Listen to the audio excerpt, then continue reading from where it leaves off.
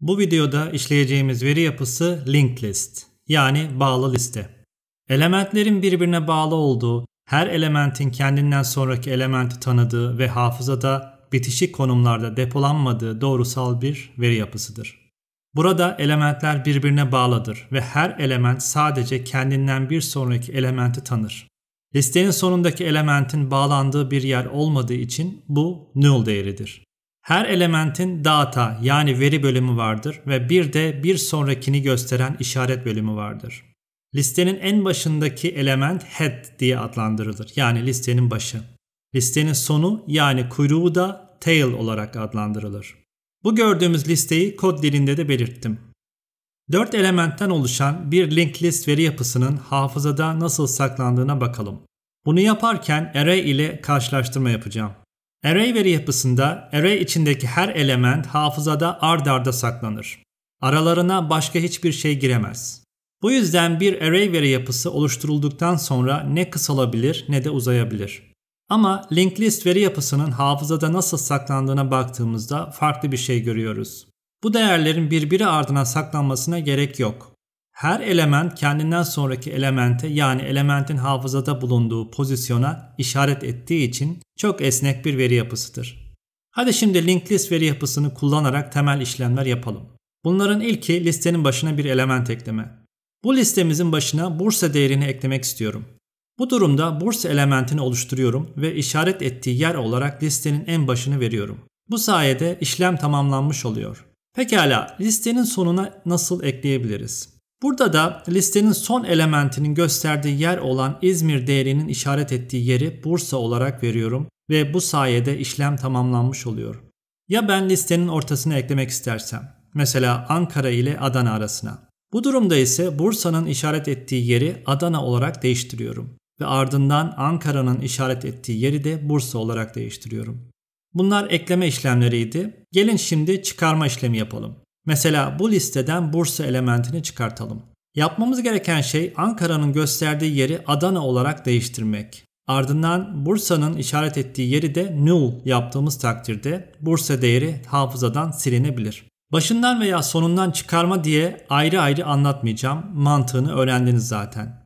Pekala listenin içinde arama yapmak istiyorum veya serbestçe gezinmek istiyorum. Bunlar nasıl olur? Mesela diyelim ki İzmir değerini aramak istiyorum. Bu durumda listenin başından başlayıp teker teker her elementi kontrol etmek gerekiyor. Ya ben İzmir'in bulunduğu pozisyonu yani listede kaçıncı sırada olduğunu bilsem benim için bir avantaj sağlıyor mu? Hayır sağlamıyor. Array veri yapısıyla linked list veri yapısının arasındaki farklardan biri de budur.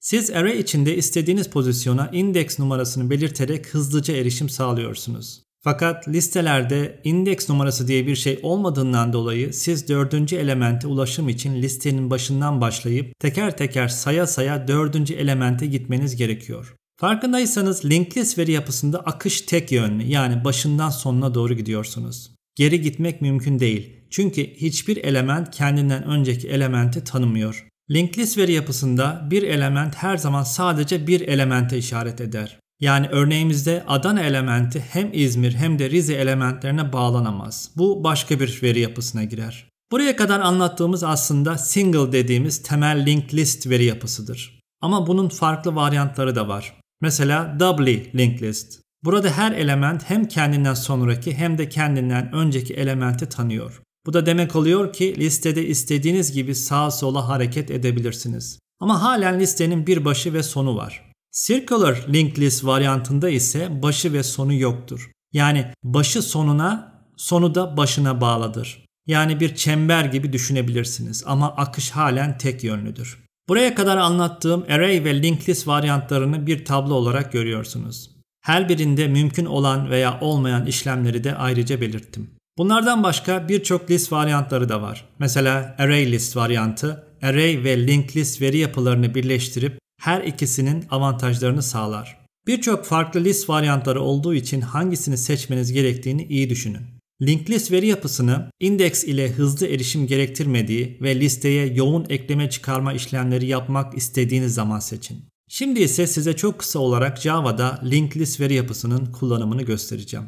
Java'da yine aynı isimle linked list sınıfı var. List adında bir linked list nesnesi yaptım. Bunun içine veri eklemek için add metodunu kullanıyoruz. Burada 4 tane şehir ismi ekledim. Ardından listedeki tüm elementleri teker teker ekranda gösterme şekillerini görüyorsunuz. Biri iterator kullanarak, diğeri ise for kullanarak. Daha sonra ise listenin başına ve sonuna ekleme çıkarma işlemlerini görüyorsunuz.